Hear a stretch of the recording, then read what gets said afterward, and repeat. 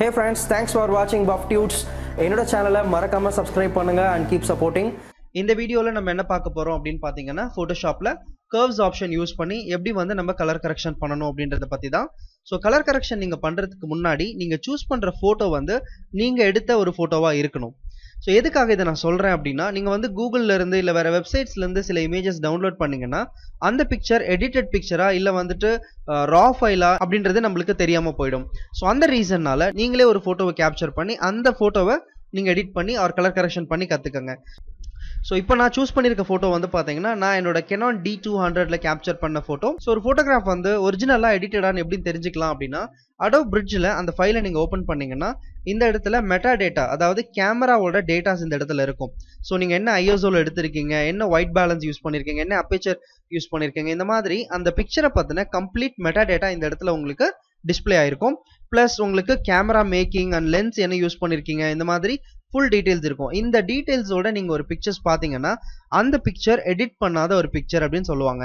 So இப்போ இந்த பிக்சரை நான் வந்துட்டு ஃபோட்டோஷாப்பில் ஓப்பன் பண்ணுறேன் ஜஸ்ட் டபுள் கிளிக் பண்ணிங்கன்னா இந்த ஃபைல் உங்களுக்கு ஃபோட்டோஷாப்பில் ஓப்பன் ஆகிடும் ஸோ கர்வ் ஆப்ஷன் வந்து பார்த்தீங்கன்னா இமேஜ் அட்ஜஸ்ட்மெண்ட்ஸில் கர்வ்ஸ்னு ஒரு ஆப்ஷன் கொடுத்துருப்பாங்க.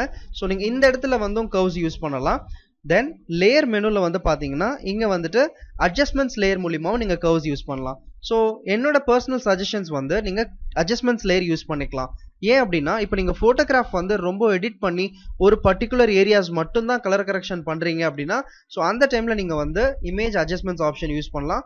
ஓவரால் பிக்சர்ஸ்க்கு நீங்கள் கலர் கரெக்ஷன் மட்டும் பண்ணுறீங்க எந்த எடிட்டிங்கும் பண்ணலை அப்படின்னா நீங்கள் வந்து அட்ஜஸ்ட்மெண்ட்ஸ் லேயர் யூஸ் பண்ணலாம். எதுக்காக அட்ஜஸ்ட்மெண்ட்ஸ் லேயர் அப்படின்றது? எப்போ வேணாலும் நம்மளுக்கு அந்த கலர் கரெக்ஷனை டெலீட் ஆர் ஹைட் பண்ண முடியும். பட் நீங்கள் இமேஜ் மெனுவில் போயிட்டு இங்கேருந்து யூஸ் பண்ணீங்க அப்படின்னா கண்டிப்பாக உங்களால் அதை எடிட் ஆர் அட்ஜஸ்ட்மெண்ட்ஸ் பண்ண முடியாது. இது வந்து அப்ளைடு கலர் கரெக்ஷனாக தான் உங்களுக்கு வரும். ஸோ நான் ஃபர்ஸ்ட் வந்து இமேஜ் அட்ஜஸ்ட்மெண்ட்ஸ் மெனுவில் இருக்கிற ஆப்ஷன் சூஸ் பண்ணுறேன் செட்டிங்ஸ் வரைக்கும் பார்த்தீங்கன்னா கர்வ்ஸாக இருந்தாலும் சரி இல்லை அட்ஜஸ்ட்மெண்ட்ஸ் லேயராக இருந்தாலும் சரி அதாவது இமேஜ் அட்ஜஸ்ட்மெண்ட்ஸ்ல இருந்து நீங்கள் எடுக்கிறதா இருந்தாலும் சரி இல்லை அட்ஜஸ்ட்மெண்ட்ஸ் லேயராகவே நீங்கள் கிரியேட் பண்ணாலும் சரி கர்வ்ஸோட செட்டிங்ஸ் ஒரே மாதிரி தான் இருக்கும். ஸோ கர்வ்ஸ் ஆப்ஷன் கிளிக் பண்ணுங்க. ஸோ கர்வ்ஸ் வந்து ஃபோட்டோஷாப்பில் ரொம்ப அட்வான்ஸான ஒரு ஆப்ஷன் நீங்கள் கலர் கரெக்ஷன் பண்ணுறதுக்கு ஸோ நீங்கள் கலர் கரெக்ஷன் பண்ணுறதுக்கு முன்னாடி உங்கள் பிக்சரை பற்றி ஒரு சின்ன ஸ்டடி பண்ணுங்கள் ஸோ இதுக்கு நீங்கள் விண்டோஸ் மெனுவில் வந்தீங்கன்னா ஹிஸ்டோகிராம் அப்படின்னு சொல்லி ஒரு ஆப்ஷன் கொடுத்துருப்பாங்க. இந்த ஹிஸ்டோகிராம் அப்படின்றது என்னென்னா உங்கள் பிக்சரில் இருக்கிற கலர் வேல்யூஸ் அண்ட் கலர் பேலன்ஸிங்கை பற்றி ரொம்ப டீட்டெயிலாக எக்ஸ்பிளைன் பண்ணும். ஸோ இதில் வந்து எக்ஸ்பேண்ட் ஆல் கொடுத்துருங்க.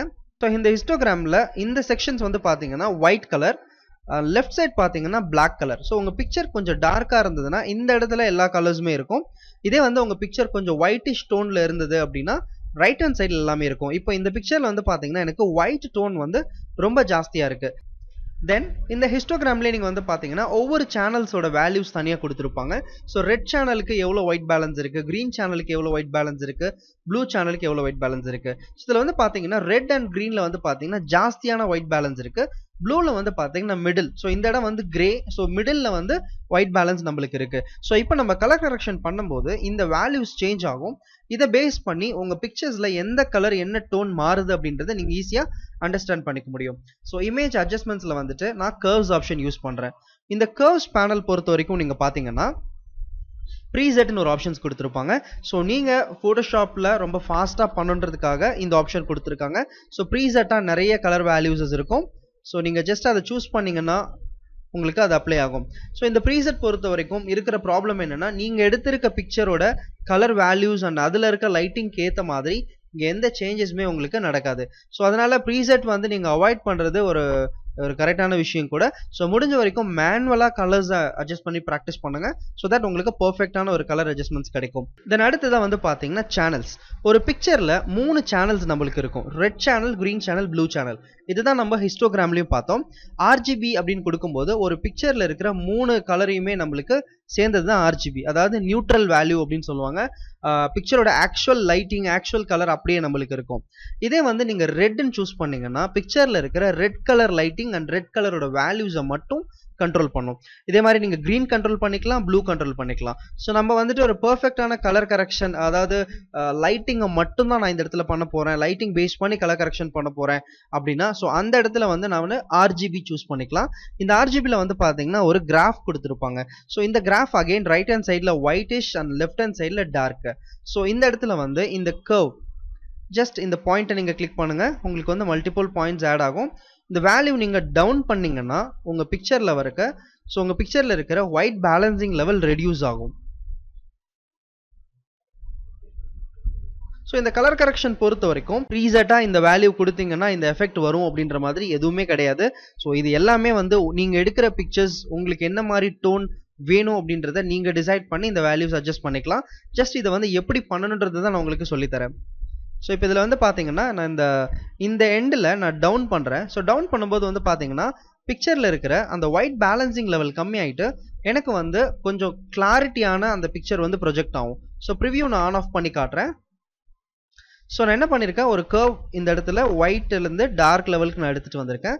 ஸோ இதே மாதிரி நீங்கள் மல்டிபிள் பாயிண்ட்ஸ் எத்தனை பாயிண்ட்ஸ் வேணாலும் ஆட் பண்ணிக்கலாம். ஸோ இந்த பாயிண்ட்ஸ் ஆட் பண்ணும்போது தேவைப்படுற அளவுக்கு மட்டும் ஆட் பண்ணுங்கள் நிறைய பாயிண்ட்ஸ் ஆட் பண்ணாதீங்க. அகெயின் நான் இன்னொரு பாயிண்ட் செலக்ட் பண்ணுறேன்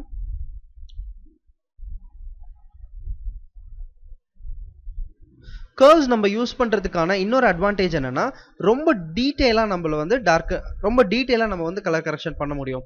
ஃபார் எக்ஸாம்பிள் டார்க்னஸ் வேல்யூ மட்டும் அட்ஜஸ்ட் ஆகணும்னா டார்க்னஸ் வேல்யூ மட்டும் அட்ஜஸ்ட் பண்ண முடியும். அதே மாதிரி ஒயிட்டிஷ் ரேஞ்ச் மட்டும் அட்ஜஸ்ட் பண்ணணும்னா ஒயிட்டிஷ் ரேஞ்ச் மட்டும் நீங்கள் அட்ஜஸ்ட் பண்ணிக்கலாம்.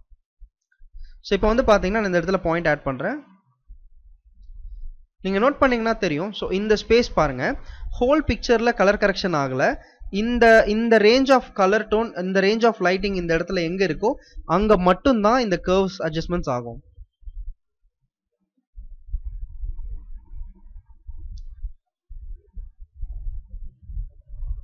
தென் அதே மாதிரி இங்க ஒரு பாயிண்ட் ஆட் பண்றேன். ஸோ பிக்சர்ல இருக்க ஒயிட்டிஷ் ரேஞ்ச் மட்டும் உங்களுக்கு அட்ஜஸ்ட் ஆகும்.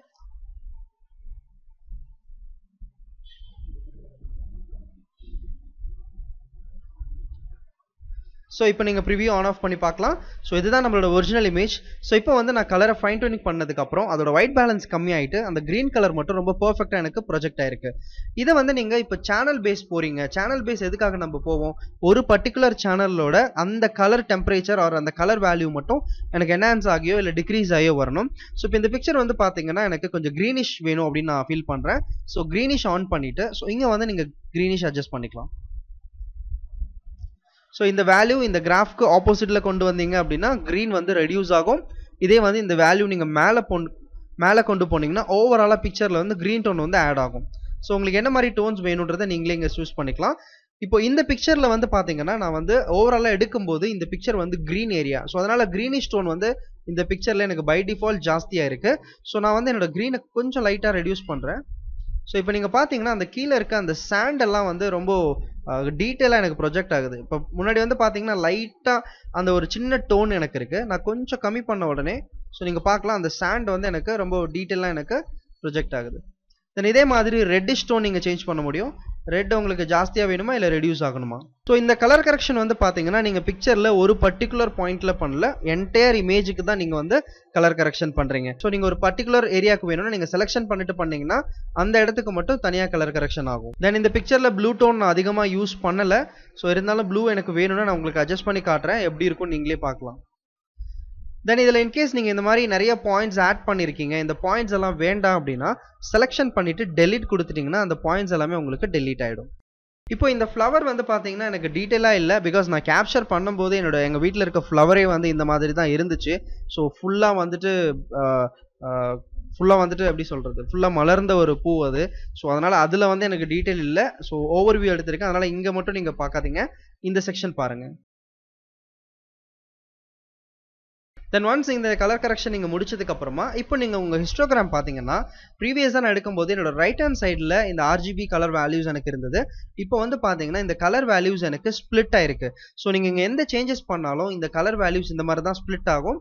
ஸோ இந்த மாதிரி சின்ன சின்ன லைன்ஸ் மாதிரி வரும். அது ஒன்றும் மிஸ்டேக் கிடையாது. அது அப்படி தான் இருக்கும். ஸோ இதில் எந்த மாதிரியான டோன் உங்களுக்கு வேணுமோ கரெக்டாக அந்த டோன் நீங்கள் இந்த இடத்துல யூஸ் பண்ணிக்கலாம்.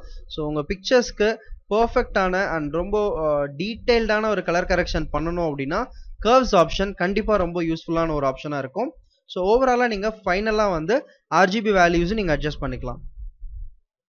ஸோ நீங்கள் கலர் கரெக்ஷன் பண்ணும்போது பிக்சரில் இருக்கிற lighting value darkness value and then உங்களுக்கு ஷேடோ கலர்ஸ் இது எல்லாத்தையும் கம்ப்ளீட்டாக பார்த்துட்டு அதுக்கப்புறம் நீங்கள் கலர் கரெக்ஷன் பண்ணீங்கன்னா உங்களுக்கு ரொம்ப பர்ஃபெக்டான ஒரு கலர் கரெக்ஷன் பண்ண முடியும். ஸோ இப்போ என்னோடய ரிசல்ட்ஸ் பாருங்கள் ஸோ இது வந்து நான் இப்போ எடிட் பண்ணது. ஸோ ரிவ்யூ எடுத்து விடுறேன். இதுதான் என்னோட ஒரிஜினல் இமேஜ் என்னோட ஒரிஜினல் இமேஜை வந்து நான் இந்த அளவுக்கு கலர் என்ஹான்ஸ் பண்ணியிருக்கேன். ஸோ ஓவர் எக்ஸ்போஷரான எந்த இமேஜாக இருந்தாலும் உங்களால் அதோட கலரை திருப்பி கொண்டு வர முடியும். ஸோ ஓகே கொடுங்க. ரெடி இப்போ மறுபடியும் உங்களுக்கு இந்த கர்வ்ஸை கண்ட்ரோல் பண்ணணும்னா கண்டிப்பாக உங்களால் அந்த கர்வ்ஸை கண்ட்ரோல் பண்ண முடியாது. பிகாஸ் நான் சொன்ன மாதிரி இது வந்து அட்ஜஸ்ட்மெண்ட்ஸ் லேயரில் நான் கிரியேட் பண்ணலை. ஸோ அந்த ரீசன்னால் இப்போ நான் வந்து இதை எடிட் பண்ணணும். ஸோ அண்டூ பண்ணிவிட்டு லேயர் நியூ அட்ஜஸ்ட்மெண்ட்ஸ் லேயர் இங்கே வந்து நீங்கள் எடுத்துக்கலாம். அவர் இந்த இடத்துல அட்ஜஸ்ட்மெண்ட்ஸ் லேயர் ஆப்ஷனில் கர்வ்ஸ் யூஸ் பண்ணுங்கள் ஸோ இதோட அட்வான்டேஜ் என்னென்னா உங்களுக்கு எப்போ வேணுனாலும் இந்த கர்வ்ஸ் ஆப்ஷனை நீங்கள் ரிமூவ் பண்ணிக்கலாம்.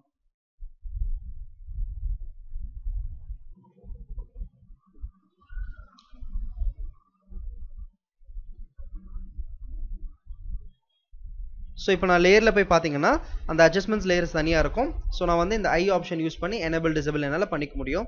இன்கேஸ் எனக்கு வேண்டாம்னா நான் டெலிட்டும் பண்ணிக்கலாம். இந்த ஆப்ஷன்ஸ் யூஸ் பண்ணி நீங்கள் உங்கள் ஃபோட்டோகிராஃப்ஸை ரொம்ப பர்ஃபெக்டாக கலர் கரெக்ஷன் பண்ணுங்கள் ஸோ முடிஞ்சதுன்னா நீங்கள் கலர் கரெக்ஷன் பண்ண பிக்சர்ஸை நீங்கள் என்னோட வாட்ஸ்அப் நம்பருக்கு சென்ட் பண்ணுங்கள் இல்லை என்னோட மெயில் ஐடிக்கு சென்ட் பண்ணுங்கள் ஸோ இந்த வீடியோவில் உங்களுக்கு என்ன டவுட்ஸ் இருக்குது அப்படின்னாலும் நீங்கள் எனக்கு கமெண்ட்டில் மென்ஷன் பண்ணலாம். ஸோ வேறு ஏதாவது வீடியோஸ் உங்களுக்கு வேணும் அப்படின்னாலும் நீங்கள் எனக்கு கமெண்ட்டில் மென்ஷன் பண்ணுங்கள் இந்த வீடியோ உங்களுக்கு ரொம்ப பிடிச்சிருந்ததுன்னா லைக் பண்ணுங்கள் அண்ட் ஷேர் பண்ணுங்கள் ரொம்ப முக்கியமான விஷயம் என்னோட சேனலை மறக்காமல் சப்ஸ்கிரைப் பண்ணுங்கள் keep supporting and thank you for your support next வீடியோவில் நான் உங்களை மீட் பண்ணுறேன்